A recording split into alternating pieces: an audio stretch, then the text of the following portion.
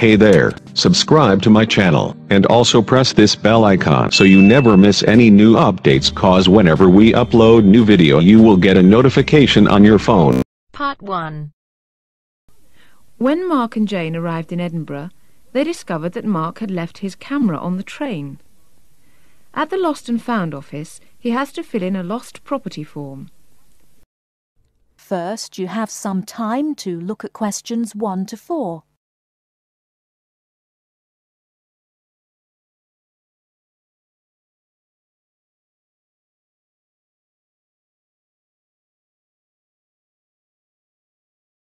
Now we shall begin. You should answer the questions as you listen, because you will not hear the recording a second time. Listen carefully and answer questions 1 to 4. Good evening, sir. Can I help you? Yeah, I think I left my camera on the train from London early today. Did you, sir? Oh, well. In that case, we'd better fill in a lost property form. Can you tell me your name? Yeah, it's Mark Adams. Huh? Okay. Uh, your address? You mean in Britain or in the States? Uh, how long are you staying? Oh, I've still got a few months in Britain. Okay, then. Can you give me your address here? Right. It's 21 uh-huh.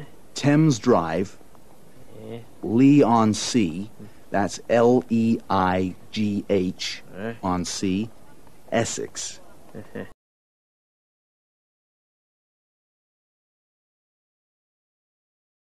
Before you hear the rest of the conversation, you have some time to look at questions 5 to 10.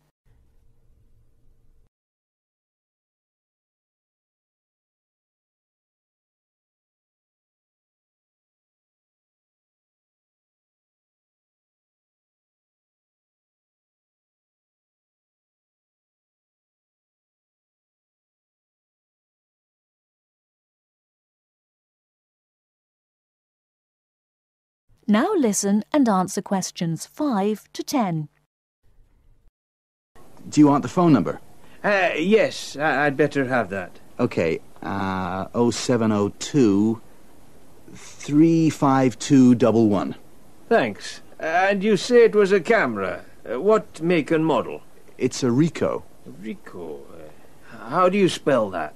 R I C O H. Okay, got that.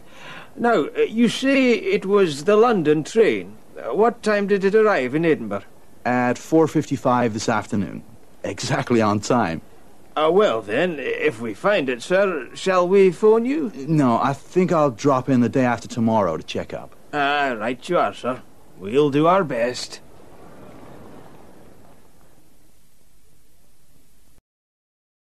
That is the end of Part 1. You now have half a minute to check your answers.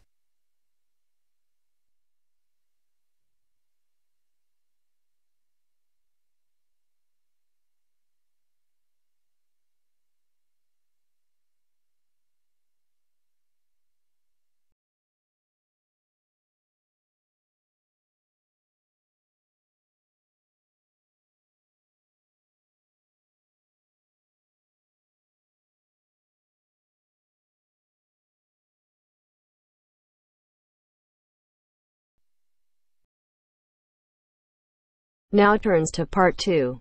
Part 2 You are going to listen to two students talking about a presentation on time management.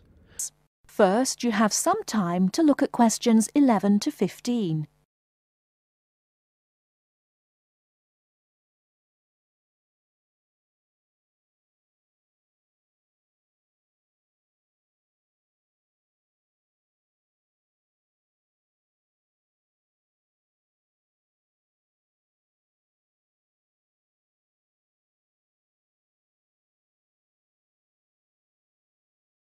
Now, listen carefully and answer questions 11 to 15.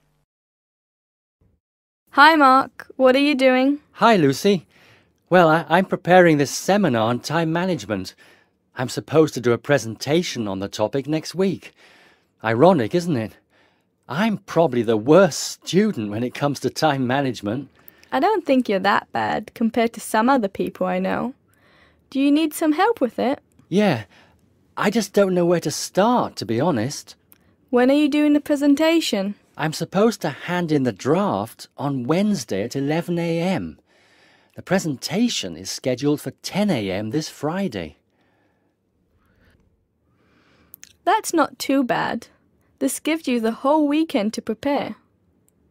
Let's brainstorm some ideas, shall we? Do you want to get a pen and paper to jot down some thoughts? I think you should start with a broad general statement. For example, I read somewhere that organizing time is a skill like learning to drive or tying your shoelaces. Then you could move on to discussing the common problems people have with managing time. That's not a bad idea. One of the common problems is putting things off. Yeah, you could also mention some common signs of this symptom, such as last minute holiday shopping, putting off visits to the doctors or the dentists. Another problem is relying too much on your memory and not writing things down. Do you mean not keeping a diary or a planner to plan the tasks? That's right. For example, writing down what I need to do in a diary or planner helps me remember what I need to do and makes me more focused on the tasks for the day. Good idea. Before you hear the rest of the talk, you have some time to look at questions 16 to 20.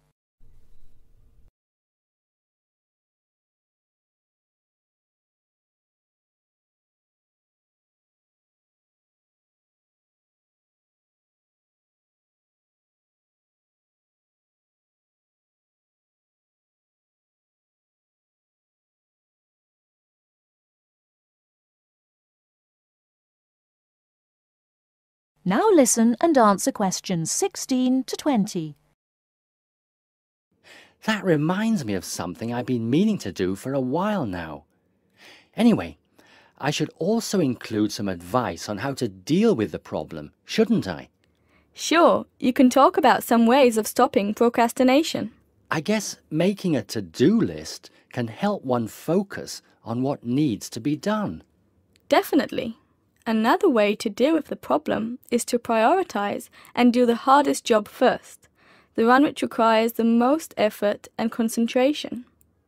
Also, my tutor recommended that I should break big projects into small parts with a specific goal. Having an action plan has worked for me. I usually make a list of small tasks I need to do to achieve a goal. Sometimes I just don't feel like getting down to work because a task seems too overwhelming for me to even think about. This technique helps me reduce psychological pressure if I think of a project as a set of easily achievable tasks. Don't you think? I know what you mean. I often feel like that myself with the statistics project I've been doing this term.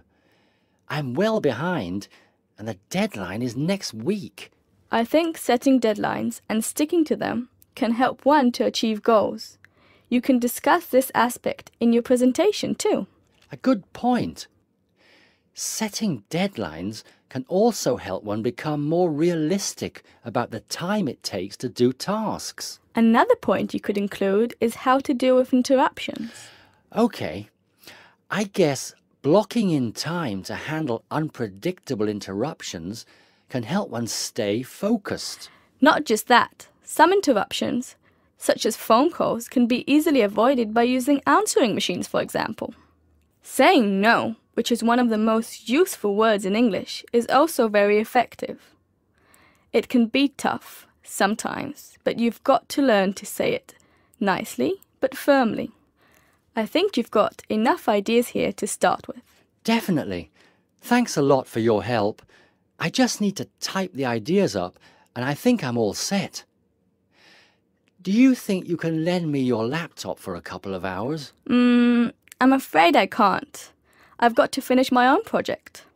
Never mind. I'll use one at the library. You certainly know how to say no. Learned it the hard way. Got to go now. Good luck with the presentation. Cheers. See you later.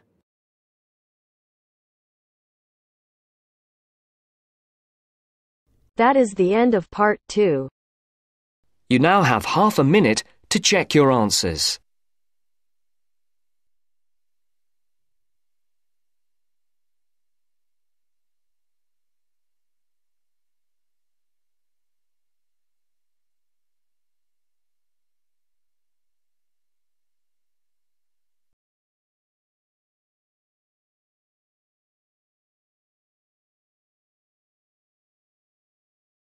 Part 3. As part of our lecture series on everyday health issues, today's talk is on tiredness. We shall look at the main issues in turn, as well as some of the main research that has been carried out in this field. First, you have some time to look at questions 21 to 26.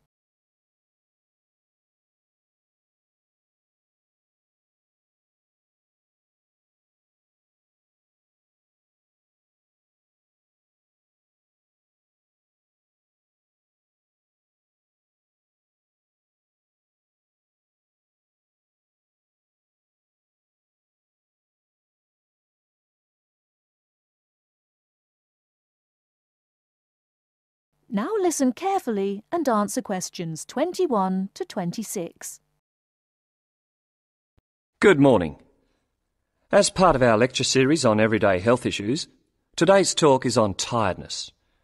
We shall look at the main issues in turn, as well as some of the main research that has been carried out in this field. Firstly, it is clear that tiredness is on the rise. No official data exists on the rate of people reporting to doctors with recurring tiredness, but it's a very common complaint. Research suggests that people are not relaxing properly and often work when they do not have enough energy. Furthermore, products to boost energy are also on the rise. Sales of so-called energy drinks loaded with caffeine and sugar have grown by 23% over the last year. And this is not the only instance of an increase in products claiming to boost energy. Guarana, a herbal stimulant, can now be found in everything from chocolate bars to tea bags. Now let's examine what it is that's making people so tired. Dr. Liebhold, a Sydney GP, has done extensive research into this, and he believes that financial pressures, not taking holidays, and not having time off when you become ill due to fear of losing your job are all common causes. Some of the other suggested causes are low oxygen levels in offices, poor diet, or illness. The problem is that tiredness is a symptom of just about every kind of illness, which makes tracking down the cause all the more difficult. The next question to ask is, are people getting enough sleep? Dr Mansfield from Melbourne's Epworth Sleep Centre, who specialises in sleep disorders, says insomnia often arises when people are going through a stressful period. Mansfield often needs to re-educate people in how to get off to sleep. He recommends keeping your body clock regular by going to bed and rising at similar times every day and not drinking too much caffeine. And there is some truth in the old story about having a glass of hot milk before bed. Milk contains the amino acid tryptophan, which has been shown to help induce sleepiness. Turning to the question of why we need sleep, researchers are still trying to answer this fundamental question. Sleep deprivation experiments have shown that after 14 days without sleep, rats will lie down and die. And after only three days sleep loss, humans get confused, forgetful, and start having hallucinations. So whatever sleep does, it is important. Before you hear the rest of the talk, you have some time to look at questions 27 to 30.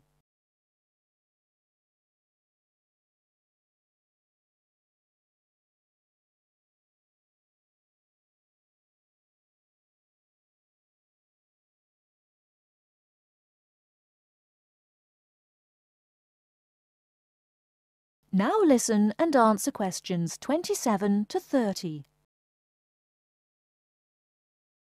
However, not all researchers feel the same way.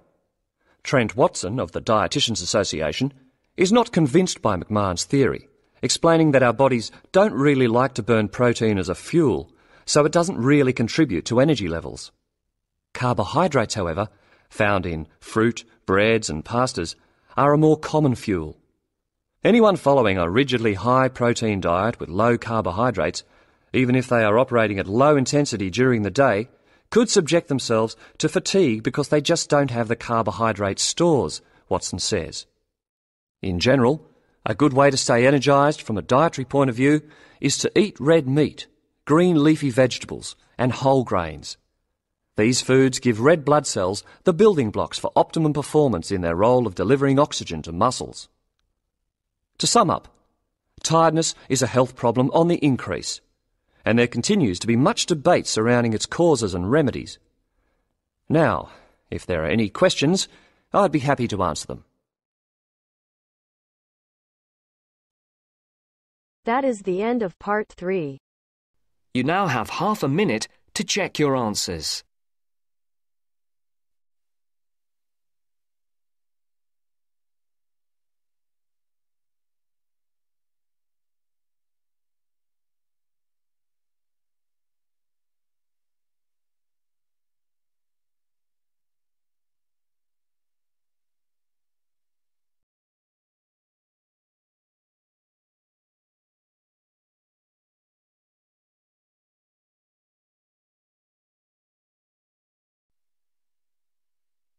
Now turns to part 4.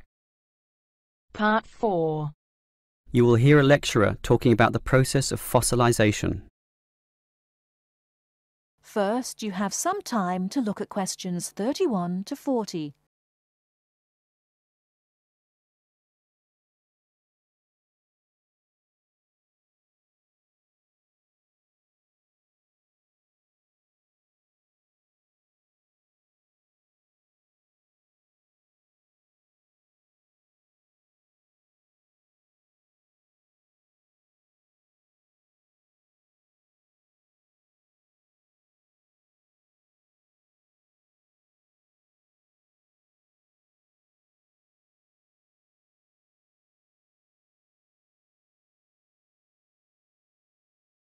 Now listen carefully and answer questions 31 to 40. The foremost exhibition in any great natural history museum is almost invariably a skeleton of a large dinosaur. Often the famous Tyrannosaurus rex, or T Rex as it's usually known. Thus, one would think that these skeletons are plentiful, one for each museum, and more to spare in the basement. Well, here's an interesting fact. Almost every one of those T Rex skeletons are just copies of the original fossils, and we only have 20 sets of these in the whole world. And the most complete is still missing one fifth of its bones, and the rest are missing a lot more. And given that these dinosaurs once numbered in the thousands and existed on this earth for perhaps three million years, you can realize an obvious fact fossilization is actually an extremely rare occurrence. Fossilization can only occur when, after an animal dies, it is buried in soft mud or silt relatively quickly before the body completely rots or is torn to pieces by scavengers. Given this fact, the overwhelming majority of fossils are in marine sediment, where former marine life sank to the sea bottom, where sediment was being continually deposited. This means that we have a fairly good idea of the life in Earth's ancient oceans, but a much sketchier view of the land based life forms. Fossilization on land needs water and mud, meaning that it is most often near ancient river sites and lakes. But it is still so rare that there are, in fact, large stretches of geological time about which we don't quite know what was happening at all. So, Given that fossilization is so rare, the natural question is what can increase its odds? Well, fossilization mostly occurs with organisms which meet three basic criteria. One, they must have hard body parts, for example, shells, plates, bones, and teeth. Unfortunately, the soft parts just rot away far too quickly to be fossilized. And I say unfortunately because it is often the soft fleshy features that most interest us. An elephant's trunk, for example, would not fossilize, and from the skeleton alone, we would never know the trunk was there.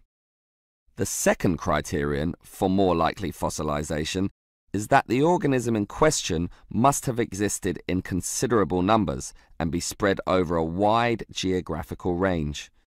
This simply increases the statistical probability that one of them will one day be fossilized and hopefully found. Finally, and by the same logic, the species needs to have existed on the Earth for a long time, and the longer, the better. So, these are the three main criteria, but there are others. Being a large size, for example, helps us to notice and discover them as fossils more easily, and being a marine organism, as mentioned, helps also. Trilobites, a strange sort of ancient crab, are a perfect example. Their body structure was one of hard plates. They existed over virtually the whole world of their time and over a huge span of geological history, over 250 million years, in fact, one of the longest ranges of any creature ever. Added to this, some species could grow to relatively large sizes, and they lived in the sea. Perfect. These creatures meet all the criteria, and as a result, museums all over the world are spilling over with trilobite fossils of all shapes and sizes. As far as fossils go, they are common. So, let's think about T Rex once again. It too basically meets all the criteria that we mentioned. It has hard parts, being the bones, had some dispersion, and had been around for a long time, although it cannot compare to trilobites in this respect. However, it does have one important advantage over trilobites. It is large, very large, which means we can discover it far more easily than many other fossils. And here's another advantage. Dinosaur hunters are a dedicated and fanatical breed, continually at work in all the likely sites of the world. Basically, us human beings are fascinated by these creatures. So much that we are always searching for them, probably more than any other types of fossil, meaning that more T Rexes will inevitably spring up in the future, and one is certainly glad for this.